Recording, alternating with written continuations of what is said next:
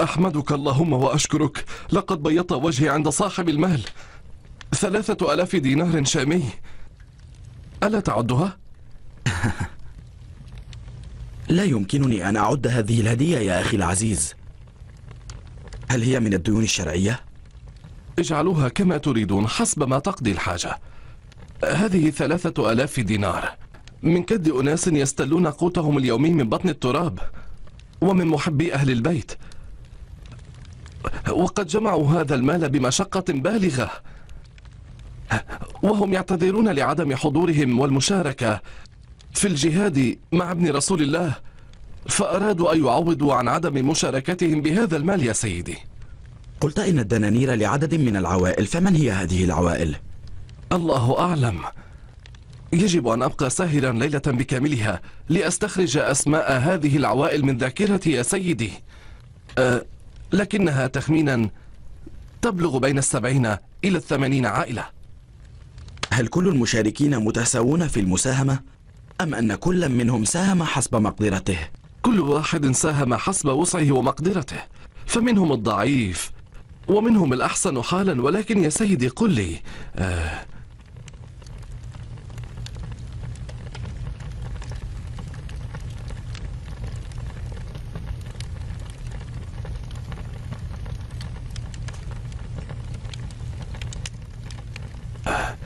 هل في هذا شبهة أو شك يراودكم؟ كيف يمكن جمع مبلغ إحسان سبعين أو ثمانين عائلة بمساهمات غير متساوية يكون ثلاثة ألاف دينار؟ لا أكثر ولا أقل هل يعقل ذلك؟ سيدي ومولاي هذا المبلغ كان كان ينقصه مئة وثمانية وستون دينارا ولما رأيت هذا الموقف الذي فيه أهل البيت قلت في نفسي يا سيدي أضيف ما ينقص من ثلاثة آلاف مما ادخرته لزيارة الحج والله سوف يساعدني في جمع نفقات الحج مستقبلا. عفوا على ما أظهرت من بوادر الشك في كلامك لكن كان ذلك للاطمئنان فقط. 500 عمرك يا شيخ. اسمح لي هيك حلو. 400 عبد الله عبد الله شيلوا يا عبد الله. تعال يا عبد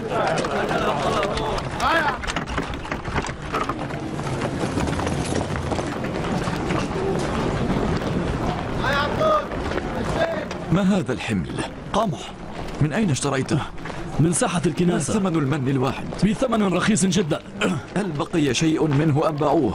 هناك ضجة وازدحام إن أسرعت قد تحصل على شيء لما اشتريت كل هذا؟ وهل البصل من المؤن الأساسية؟ لعل القحط قادم والناس ستأكل الحجر فما بالك بالبصل ألا يفسد؟ ليفسد نصفه أفضل من لا شيء من أين اشتريته؟ لقد اشتريته من ساحة من سليم البصل بكم؟ البصل يباع هناك بالحبات الأمان من هلع الإنسان ما سبب حرص هؤلاء الناس؟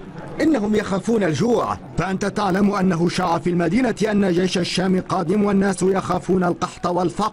هذه الأيام عيد لبائع البضائع الكاسدة والفاسدة.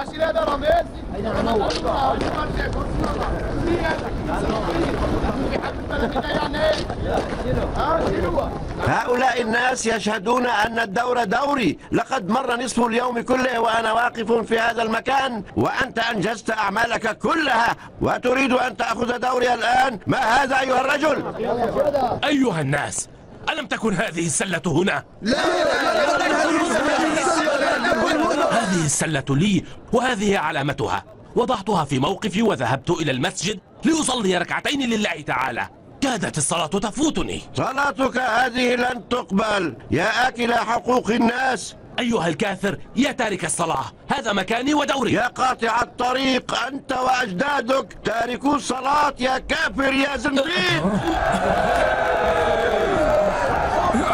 بما أنه ما يتجادلني بعني هذا الشلجم كله وقع نزاع القوم. هذا الشلجم نفايات يا رجل ولا يصلح للأكل أبدا. أريد أن أخذه للبعير. ولكن هذا كفران في النعمة يا رجل.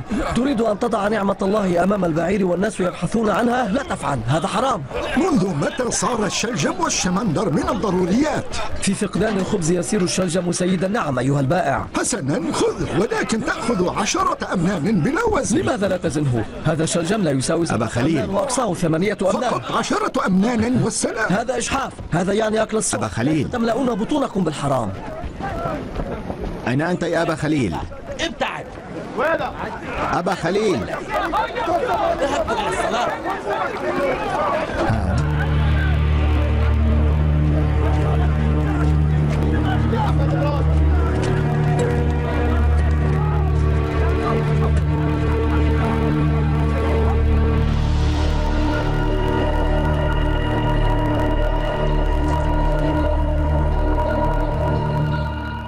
كنا قد قطعنا الأمل من مجيئك يا معقل.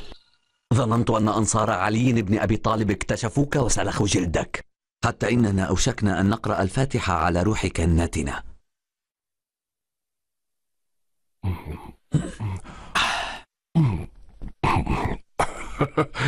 كنت على وشك الوقوع في الشرك. لقد ضيق مسلم علي الخناق بكثرة أسئلته. هل النقود شرعية؟ من هم أصحابها؟ لماذا ثلاثة ألاف لا أكثر ولا أقل؟ ماذا كان يقصد بكل هذه الأسئلة؟ كان على حد زعمه شاكا في كل ما أخبرته إياه وعلى كل حال لقد تملصت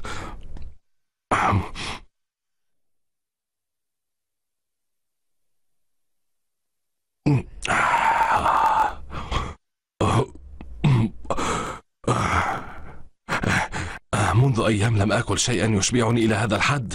الأكل شهي جدا. لقد كنت نهاري صائما وليلي قائما بالصلاة بلا انقطاع. لقد صليت عدد الصلوات التي فاتت أباك وأبي يا سيدي أو أكثر من ذلك. رأيت إن مسلما في الكوفة؟ وأنا كنت واثقا أنه لم يخرج منها وشائعة خروجه من الكوفة كانت خطة كي لا نبحث عنه. يا لها من سذاجة. إذا مسلم في بيت هانئ. لم يخطر ببالي هكذا مؤامرة أبدا. إن مرض هانئ ليس إلا كذبة. لقد تمارض هانئ حتى يخفي مسلما في بيته فيتنادى زعماء القوم وبحجة عيادتهم لهانئ يلتقون بمسلم ويتآمرون علينا ظنا منهم أن هذه الخدعة تنطلي علينا.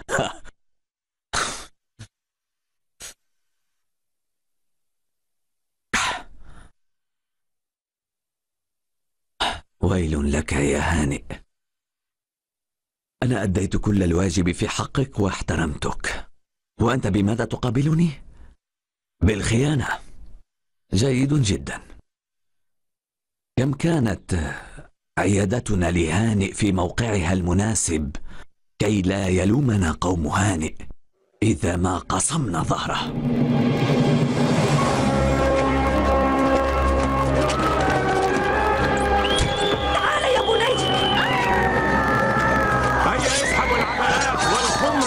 النساء لعل مسلما قد اختفى تحتها ابحثوا عنه جيدا.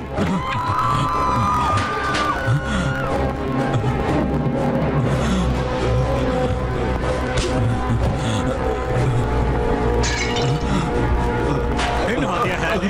لقد انكشف أمرك. أخبروا قوم مفحج لقد تجرأ ابن مرجان على هتك الحرمات يقتحم الأبواب على بيوت المسلمين يمزق العباءات على رؤوس أعراضهم لست ابن عروة إن لم أهدم الكوفة على رأس هذا الكافر سترون من أنا سترون ماذا سأفعل لن أستسلم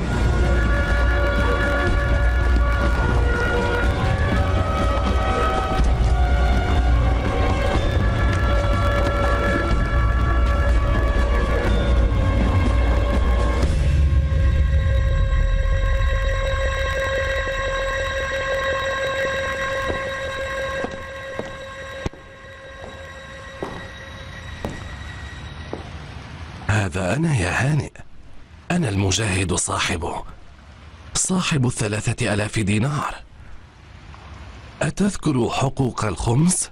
هل تتذكر عندما أعطيتها لمسلم بن عقيل؟ أتتذكر تلك الدنانير يا هانئ؟ أم أنك قد نسيتها؟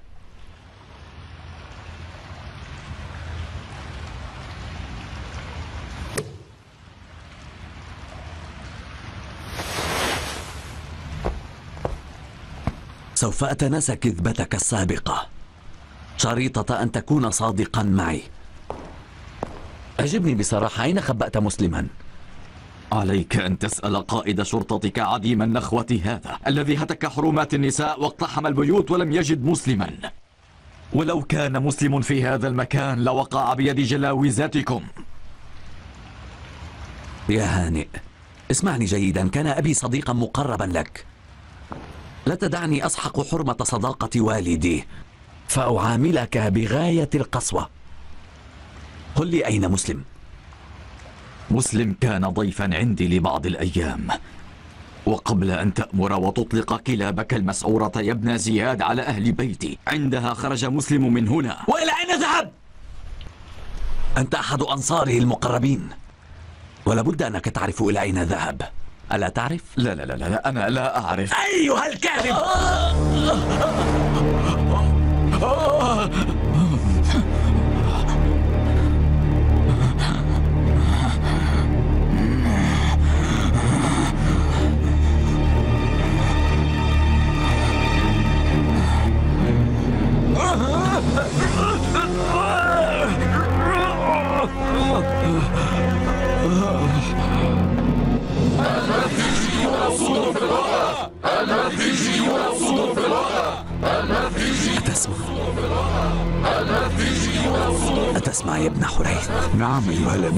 هذا الضجيج؟ لا أعلم فديتك يا أمير. لعلهم قوم مدحج إنها قبيلة هانئ مسلم بن عقيل. كان ولا يزال في حمايتي. أمهلك فرصة لتخرج من الكوفة وتترك نهائيا أمر مسلم.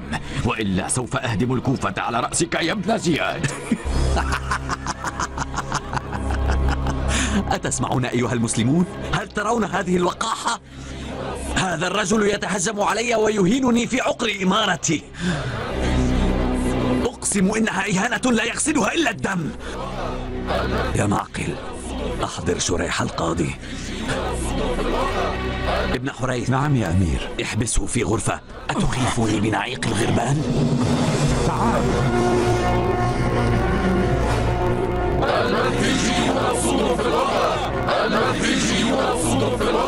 في في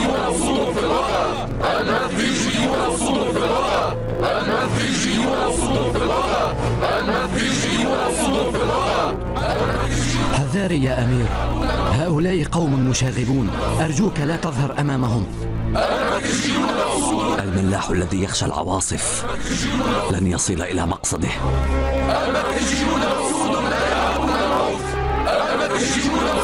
يا أسود مدحج أرجوكم اسمعوني. يبدو أن ساكني هذه القصور قد سمعوا صيحاتكم. أنتم أيها المغتصبون؟ أطلقوا سراح هانئ وإلا سندمر هذا القصر على رؤوسكم.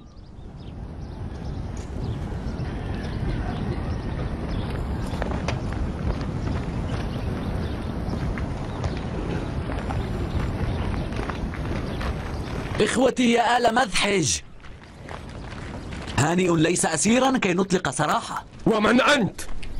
أنا أحد خدامكم. أنا ابن زياد. لقد سمعت أن آل مذحج قد شهروا سيوفهم وقصدوا دار الحكومة. فلم أصدق. فجئت لأرى بأم عيني. يا أحبتي هذا ظلم كبير منكم في حق ولي أمركم.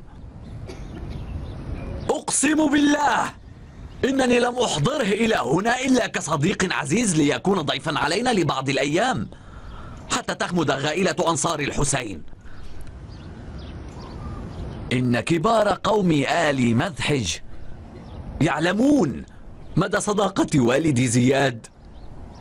رحمة الله عليه. مع هانئ بن عروة المذحجي وكم كان عزيزا عليه. وأنا لا أريد أن أكون خلفا سيئا لوالدي لذلك أريد أن أرعى هذه الصداقة. ولو كانت لي معه عداوة لما ذهبت لعيادته. إن أهل الفتنة يعلمون ما مدى نفوذ قبيلة مذحج فيريدون أن يلوثوا هانئا في فتنتهم. لهذا أتينا به إلى دار الحكومة كي لا تصل أيديهم إليه. وبذلك فوتنا عليهم فرصة قتله. هذا هو الأمر ببساطة. أنت تقول هذا لأن بريق سيوفنا خطف لونك. ولكننا سمعنا أنك قد أمرت بقتل هانئ. إن هانئا مريض. وإلا لكان جاء إلى شرفة القصر ليثبت لكم وليحدثكم بنفسه عن أن ما أقوله هو الصدق. إن كنت تحب هانئا كما تزعم أخبرنا إذن لما هاجمت بيته وهتكت حرمته. معكم حق أن تفكروا هكذا وهذه الحادثة مثل قصة جاهل يلقي حجرا في البئر. لا يستطيع مئة عاقل إخراجه. هذا خطأ بعض أفراد الشرطة. أرسلته ليأتيني بالعمامة أتاني بالرأس. ولكن كونوا على ثقة يا أحبائي بأنني سوف أعاقبهم عقابا شديدا. المذحجيون جميعا فداء لهانئ. ونحن نقسم بالله لو قطعت شعرة من رأسه سيكون عقابك عسيرا. يا إخوة من آل مذحج اسمعوا. لا اطمئنان على أقوال هذا الرجل. فما لم تشاهدوا هانئا بعيونكم فلا تصدقوا. حسنا إذا إذا لم تصدقوا ما أقول فما عليكم إلا اختيار حكم محايد ليدخل القصر ويلتقي بهانئ. ثم يخرج ليبلغكم بصدق ما أقول. هل تقبلون شريحا القاضي؟ نعم نقبله القاضي شريح؟ رجل متدين وهو صادق. نقبله نقبله حكما بيننا.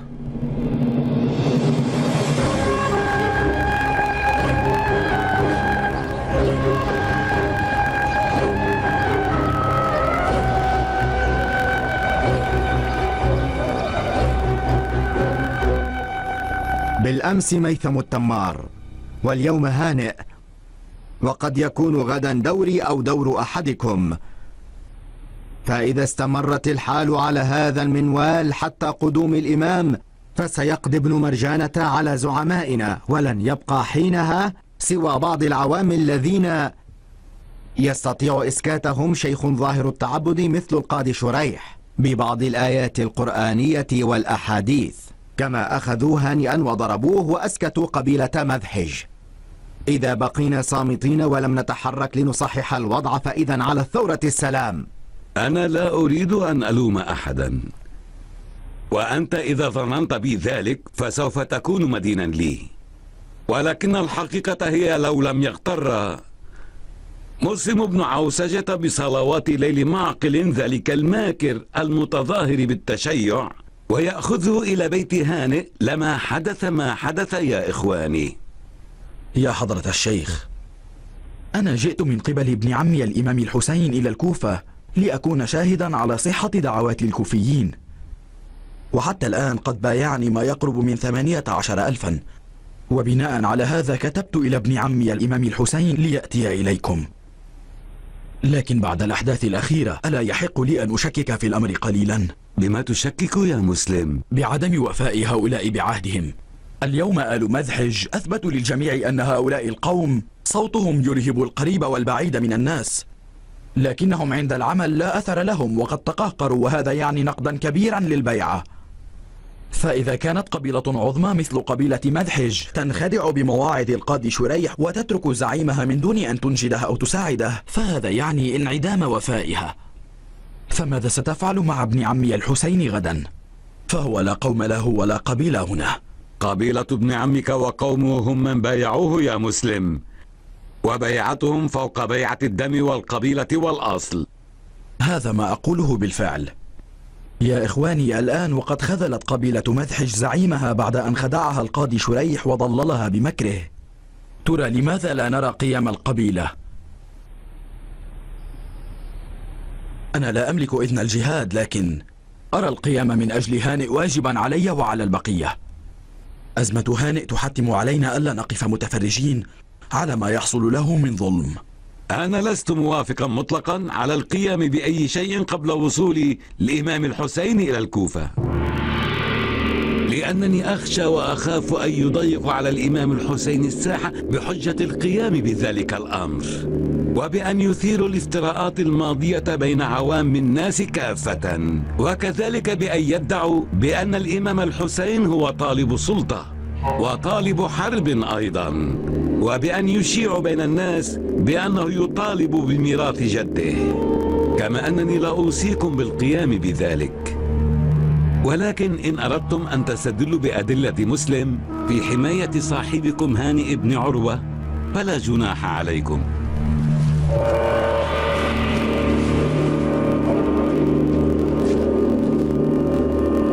إلى أين يا سليمان؟ أذهب لأنتظر يوسفنا كما انتظر نبينا يعقوب ابنه الحبيب يوسف. ألم تشارك في نصرة هانئ؟ لقد سمعتم رأيي ولكنني لا أمنعكم من ذلك. لكنك أنت الخصم والند للقاضي شريح. إذا أنت تركتنا يبقى شريح. يصول ويجول بالأحاديث والآيات المجعولة والأكاذيب فيضعف بذلك عزائم الناس البسطاء. ابن زياد لن يرسل خصوما مثل شريح إلى ساحة الميدان مرتين. إذا فعل وأرسله سأحضر بطيبة خاطر.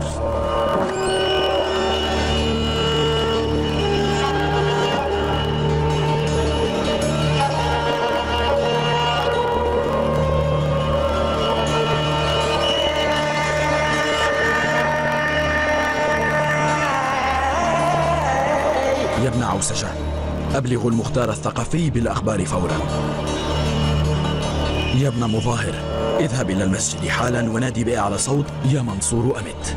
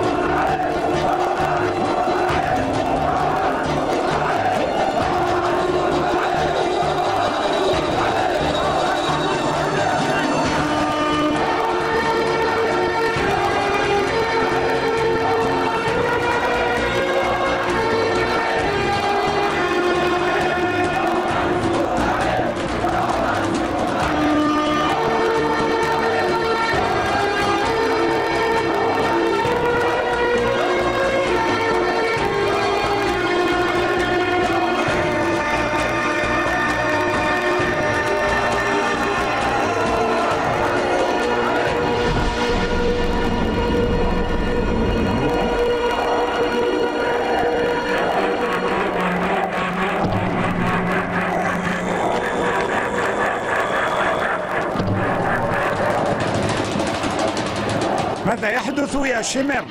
ما معنى ندائي يا منصور أمت؟ لقد نفخ إسرافيل في الصور يا ابن حريث احترس أرجوك إن مسلما وأنصاره قد قصدوا دار الإمارة ويقودهم ابن ثمامة الساعدي وابن جعدة الجدلي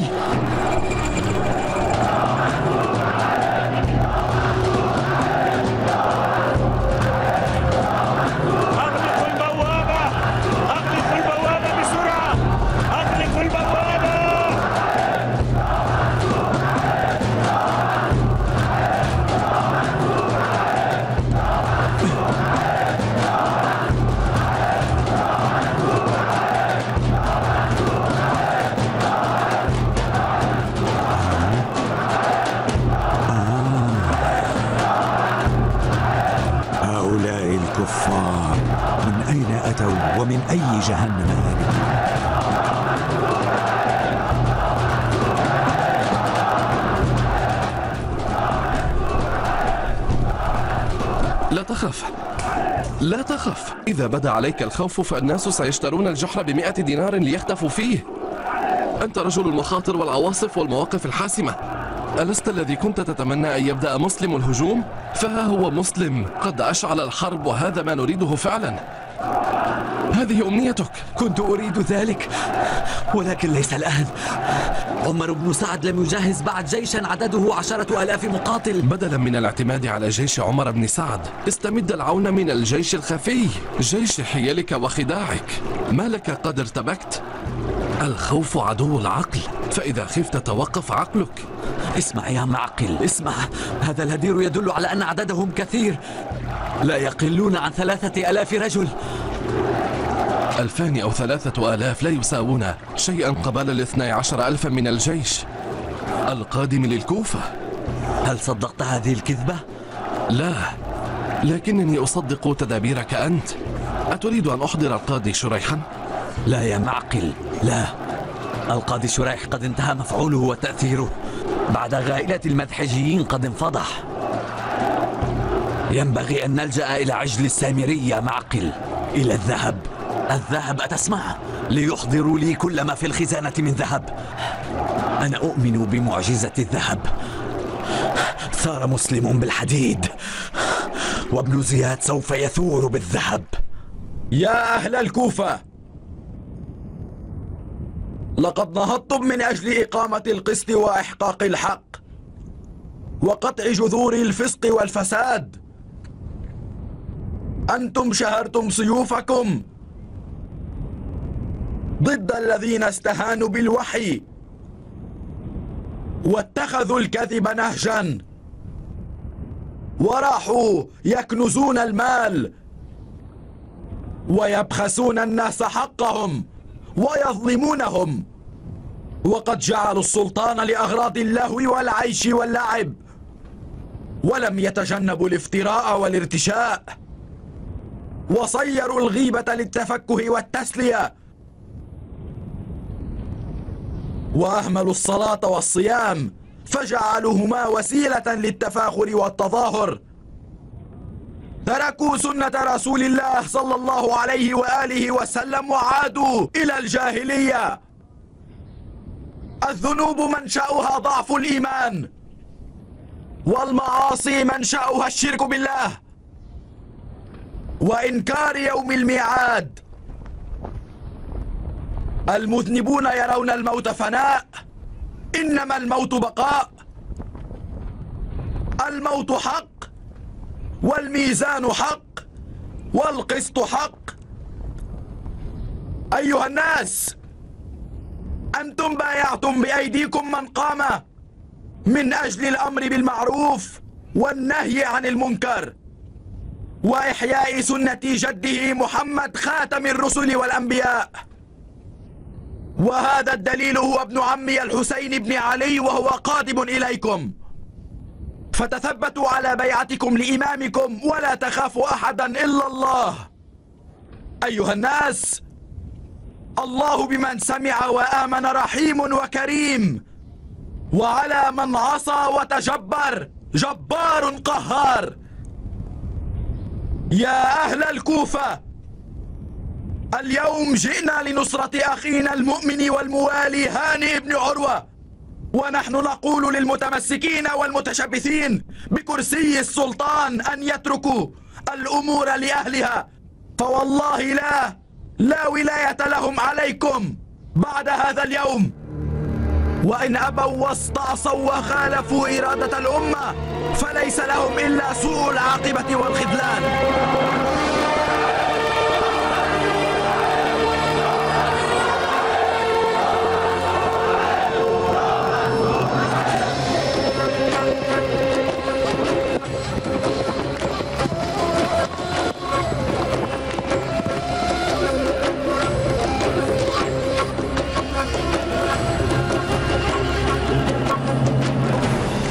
كل هذه المصائب وأنا لا أعلم بها؟ أنا آسف يا أبا إسحاق. إن أحداث هانئ بن عروة والمدحجيين قد وقعت بالأمس. وأنا لم أكن على موعد لقاء معك وقد بحثت عنك فلم أجدك. وهل كنت في بحر الظلمات؟ لو بحثتم عني بين بعض قبائل الصحراء لوجدتموني حتما.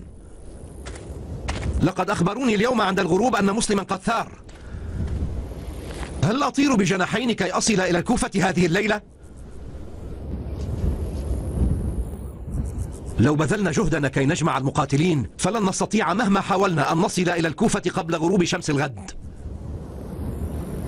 غالبية الجيش مشاة وأنا بالطبع علي أن أسير معهم وأكون معهم يا كيان. كن مطمئن البال يا أبا إسحاق. الأمور في الكوفة على ما يرام. لله الحمد أن الكوفيين قد استجابوا لدعوة مسلم. فثلث الثائرين إلى جانب مسلم وهو يكفي لهزيمة ابن مرجانة. لكن مسلما كان يود أن يرى المختار إلى جانبه لكي لا يحرم من لذة الانتصار.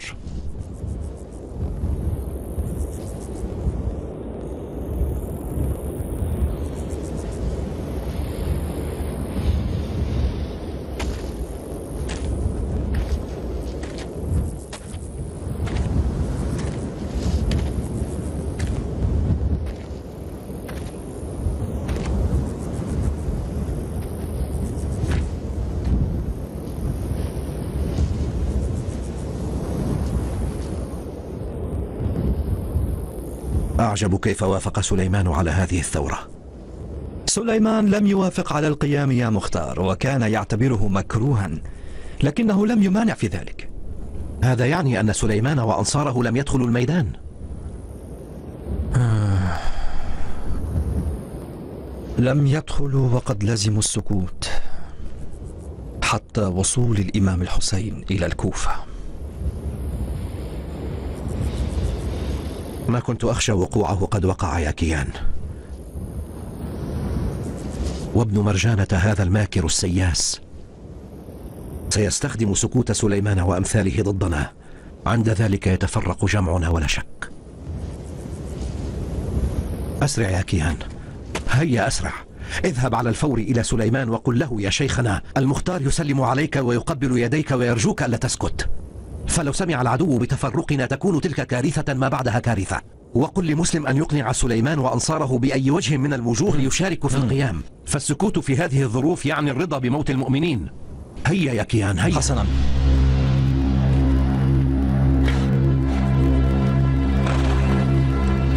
أنا وجيشي بإذن الله سوف نصل غدا إلى الكوفة. إلى اللقاء.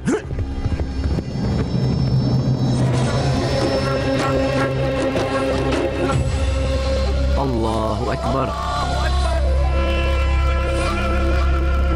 الله أكبر. الله أكبر. الله أكبر. الله أكبر. الله أكبر. إلهي يا عالما بحكمة هذا الحجر. أنت وهبت لهذا الحجر مقامه وجعلته ثمينا ومطلوبا. وقد جعلت الناس يتواضعون له. فأقسم عليك بما أودعت في هذا الحجر من الإعجاز أن تدفع عنا هذا الشر وأن تفتح عيون الجهلة بقوة البرق الساطع منه يا رب العالمين. آمين. آمين يا رب العالمين.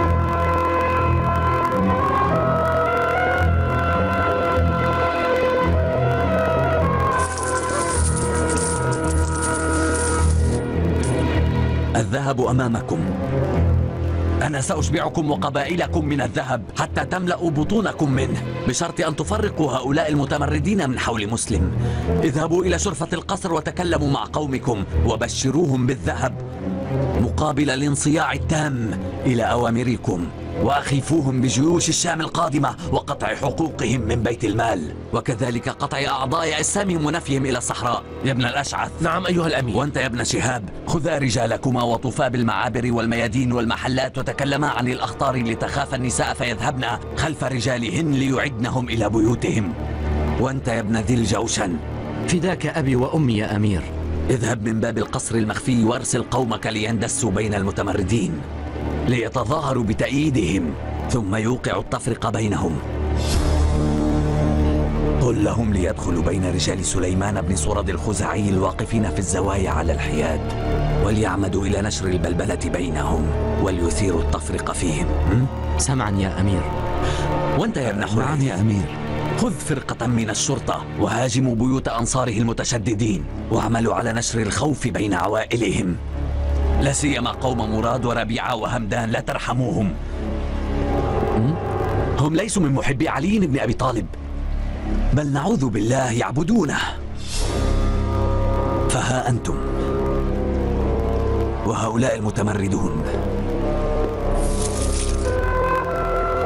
وهذا هو الذهب. بسم الله.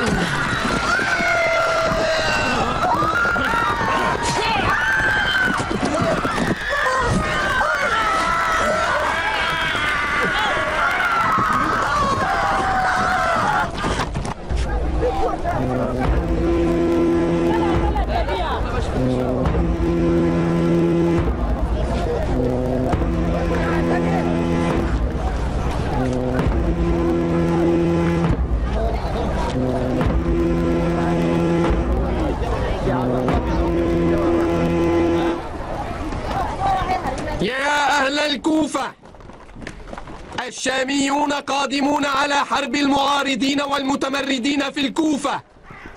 وقد أقسموا على أن يقوموا بتعذيب النساء وحلق رؤوسهن وأن يأخذوا الصبايا سبايا جوارية. يا أهل الكوفة يا أهل الكوفة إن الخليفة قد غضب على أهل الكوفة.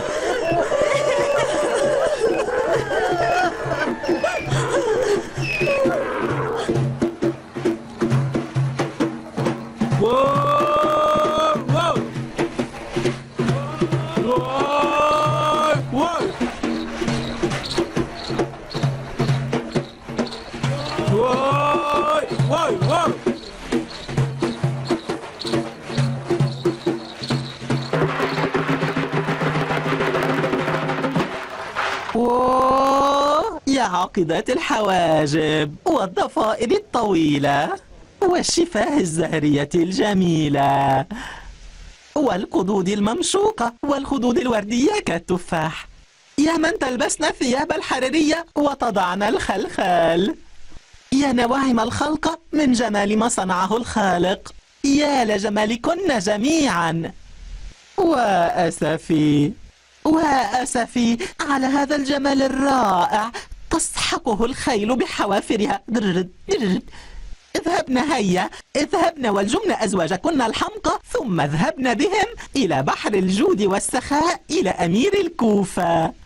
ليسلموا سيوفهم ويستلم الذهب الخالص. سلم السيف واستلم ذهبا. سلم السيف واستلم ذهبا. سلم سلم سلم السيف واستلم ذهبا. ذهبا ذهبا ذهبا ذهبا. سلم السيف واستلم ذهبا. ذهبا ذهبا ذهبا ذهبا ذهبا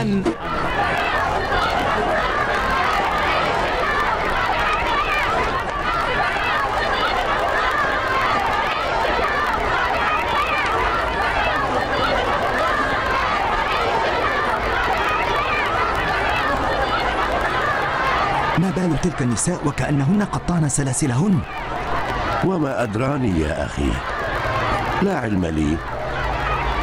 وأنا أيضا أتساءل يا أخي. كيف يرضى الرجال أن تخرج نساؤهم ليقرعن طبول العار والشنار على مرأى من الجميع؟ لا بد من أن شخصا وراء هذه المظاهرة وهو الذي قد حركهن. ومن يكون غير ابن مرجانة؟ الآن قد أدركت كلام المختار يا ابن عوسجاه لا يعرف مكر ابن مرجانة إلا المختار. ويا للأسف نحن لم نلتفت لتحذيراته. علينا أن نسد المعابر كي لا يقتربن من الرجال أبدا.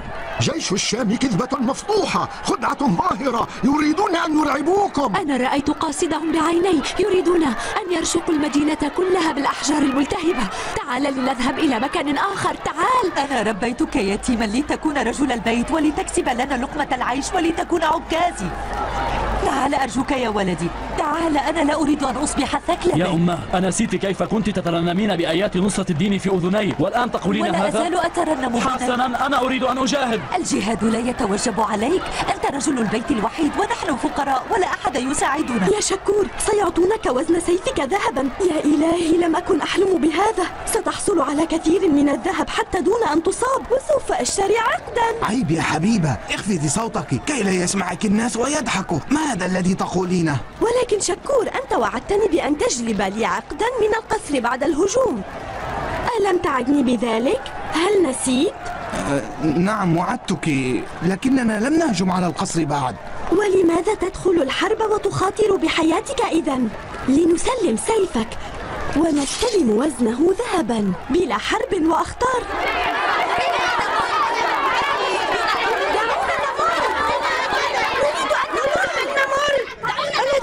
تستحون بهذه اللحى تسدون الطريق على النساء؟ ألا لعنة الله على الشيطان. أخبريني يا أختاه ماذا تفعلن وإلى أين تردن الذهاب؟ ميدان الحرب ليس مكانا للنساء. ما هذه الفضيحة؟ عدنا إلى بيوتكن ولا تثرن الفتنة. أي بيوت يا شيخ؟ البيوت التي أخذتم رجالها ليست بيوتا. بل هي جهنم. أنتم تريدون العروش والسلطان ونحن علينا أن ندفع الثمن؟ لحظة لحظة ما معنى هذا الافتراء يا امرأة؟ ألا تخافين الله؟ لا تشتمي أرجوك. اذهبي. انشغلي بشؤونك الخاصة واتركي ما يخص الرجال للرجال. يا أيها الناس ما بكم؟ أليس من يساعدني على هذه المصيبة؟ أريد أن أرى زوجي أريد أن أراه. لكن هؤلاء العصاة قد سدوا علينا المعابر. أقسم بالله العظيم إن لم تفتحوا لنا الطريق لكي تعبر النساء سأخلع العباءة وأكشف رأسي وسوف أشق جيبي وسأخرج عارية وأفضحك أيها اللئيم. ابتعد! ابتعد عن طريقي! اخجلي أيتها المرأة اخجلي! لا! لماذا أستحي عديم المروءة؟ هل ارتكبت فاحشة؟ أنت عليك أن تخجل تعترض النساء بسيفك. والله إن تجرأت ولمستني. تنحوا أيها الإخوة فأنتم رجال وهؤلاء نساء مستهترات. فلنجد من يردع هؤلاء النساء السليطات حتى لا نبقي لهن حجة يتحججن بها علينا أمام الله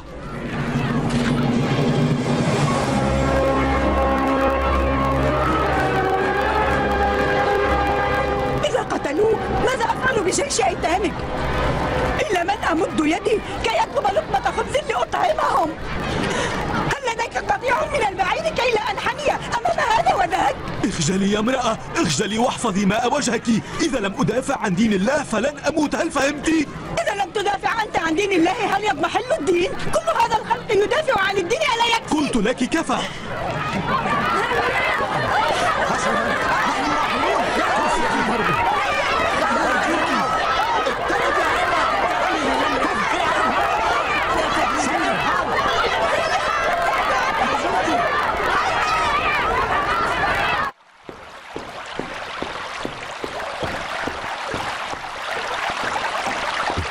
البشرى يا أمير. لقد أصابت سهامنا الهدف. وهاجمت النساء أزواجهن أيضا. إن القوم على انهزام أيها الأمير. استمروا يا ابن حريث. استمروا بذلك. في حرب المدن نصف الجيش من النساء. والغلبة لمن يعبئ النساء ويدخل بهن الميدان.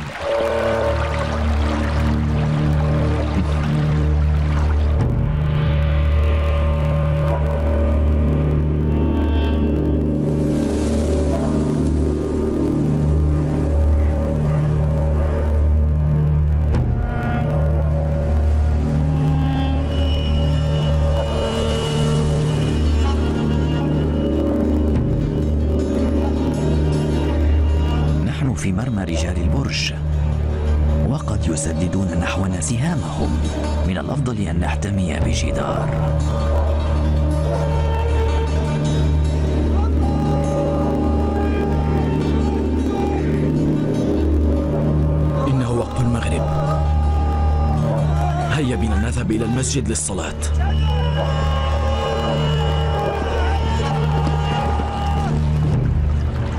الصلاة في أول وقتها لها فضيلة عظمى. تعجز الملائكة عن إحصاء فضلها وحسناتها. وقد حرمونا هذه الليلة من الصلاة في بيت الله. يا إخوتي لنصلي معا. لنصلي تحت هذا السقف. بسم الله الرحمن الرحيم.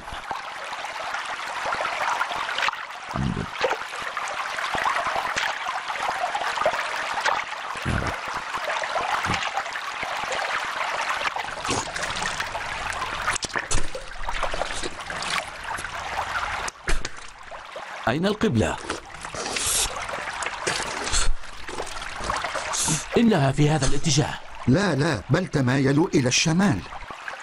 شمالا أم يمينا؟ واقفون باتجاه المشرق وتتجادلون إلى أي جهة يكون القبلة في هذا الاتجاه يا إخوة المشرق هكذا أم هكذا؟ إن كان المرحاض في هذا الجانب إذا فالقبلة من هنا يا أمير لقد ذهب الجميع من الميدان ولا أحد فيه أشهد أن لا إله إلا الله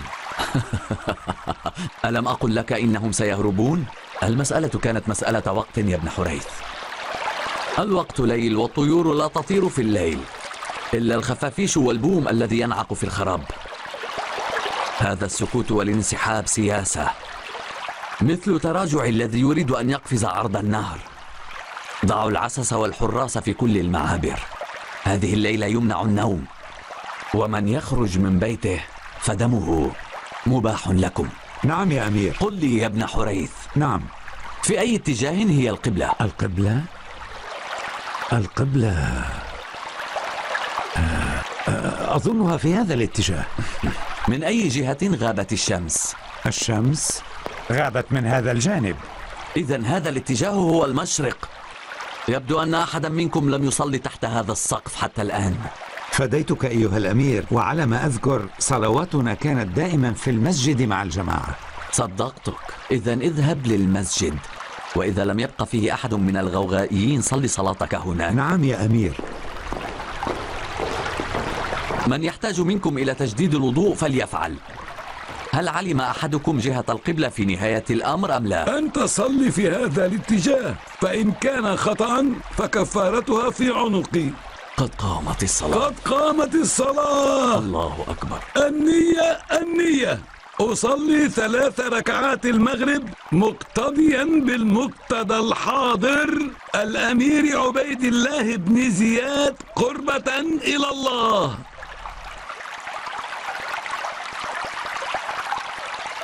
الله أكبر.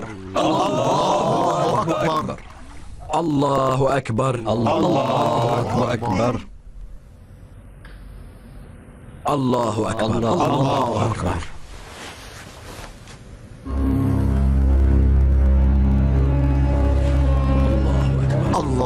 أكبر الله الله أكبر الله أكبر الحمد لا إله إلا الله الله أكبر الله أكبر الله أكبر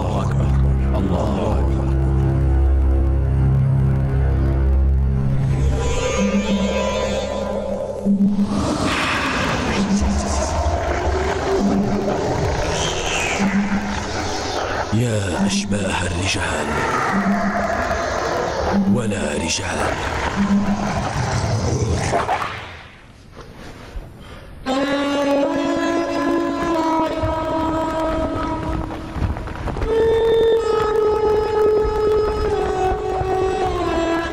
أرى أن نبقى في المسجد ليجعل الله لنا فرجا.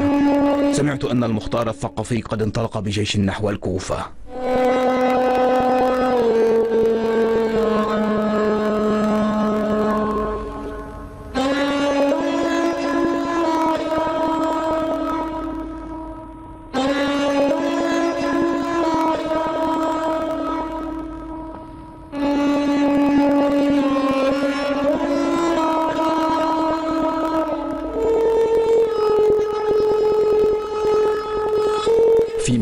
هذا المسجد خضبت محاسن عم علي بدم هامته. وأنا سأهرب من قضاء الله إلى قدر الله سبحانه وتعالى.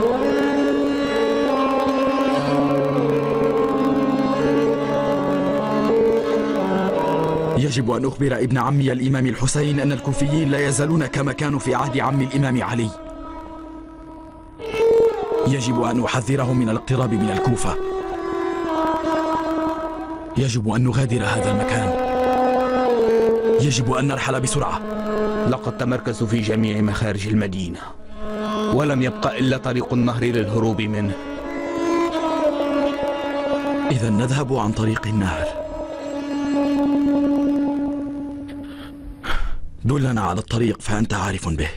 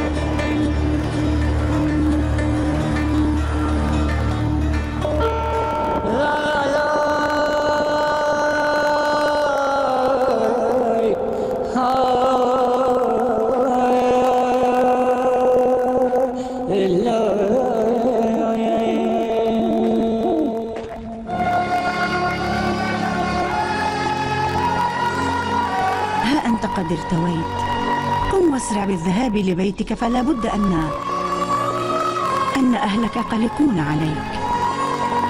أنا غريب في الكوفة يا أمة. مسلم أصبح غريبا في الكوفة يا حبيب لا يعرف مكانا فيها. ترى في أي أرض هو الآن؟ لقد سئمت من هذا المكان يا ابن عوزجة. سوف أذهب إلى أي مكان خير من هذه المدينة. الإمام الحسين في طريقه إلى الكوفة. سوف ألتحق بالحسين بن علي.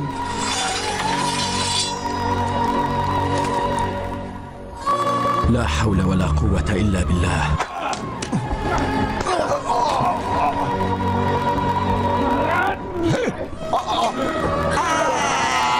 جهز فوجا من الرجال الأكفاء واذهب لمواجهة المختار واقطع عليه الطريق.